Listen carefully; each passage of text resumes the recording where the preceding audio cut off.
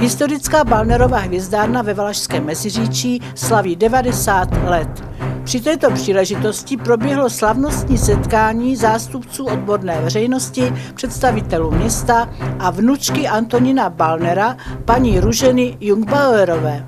Ta věnovala hvězdárně kopii skici s portretem zakladatele hvězdárny, jejímž autorem byl malíř Josef Hapka a slavnostní album vytvořené přáteli amatérskými hvězdáři k příležitosti Balnerových 50. narozenin. Interiér přístupný veřejnosti představuje historii astronomie na Valašsku společně s průběžně obměňovanými instalacemi. Historicky nejvyšší částku celkem 12 milionů korun vyčlenilo zastupitelstvo města Vsetína do programu pro poskytování dotací v oblasti sportu pro rok 2020. Zastupitelstvo rozdělilo sumu mezi 28 žadatelů, kteří podali žádost ve stanoveném termínu.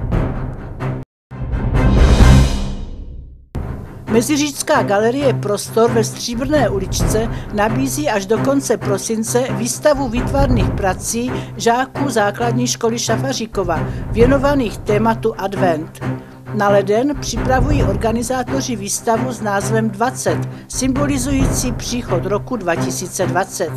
Vystavovat může každý, stačí vhodit do schránky na výstavě svůj kontakt – Vernisáž lednové výstavy i s doprovodným programem se uskuteční 1. ledna v 18 hodin.